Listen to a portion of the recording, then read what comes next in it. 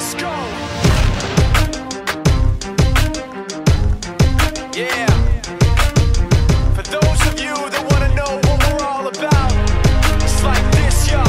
This is 10% luck, 20% skill, 15% concentrated power of will, 5% pleasure, 50% pain, and 100% reason to remember the name.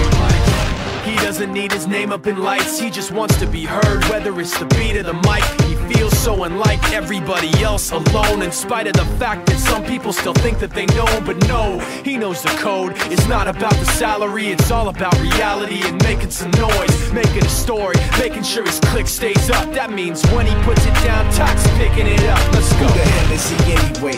never really talks much, never concerned with status, but still leaving him starstruck. Humble through opportunities given despite the fact that many misjudge him cause he makes a living from writing raps. Put it together himself, now a picture connects. Never asking for someone's help or to get some respect. He's only focused on what he wrote, his will is beyond reach. And now it all unfolds, skill of an artist. This is 20% skill, 80% beer, be 100% clear, cause Ryu was ill. Who would've thought he'd be the one that set the West in flames? And I heard him wreck it with the crystal method, name of the game. Came back, dropped Megadef, took him to church. I like Bleach, man. Ryu had the stupidest verse, this dude is the truth. Now everybody giving them guest spots and stocks through the roof. I heard he f***ing with that This is 10% luck, 20% skill, 15% concentrated power of will,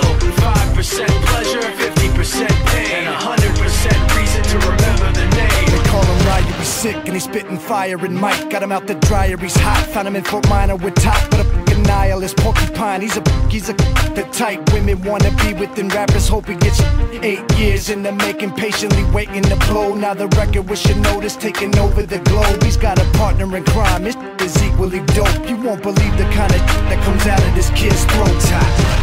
not your everyday on the block. He knows how to work with what he's got, making his way to the top. He often gets a comment on his name. People keep asking him, was it given that birth or does it stand for an acronym? No, he's living proof. Let him rock in the booth. He'll get you buzzing quicker than a shot of vodka with juice. Juice. Him and his crew are known around as one of the best. Dedicated to what they do and give 100%. Forget Mike, nobody really knows how or why he works so hard. It seems like he's never got time because he writes every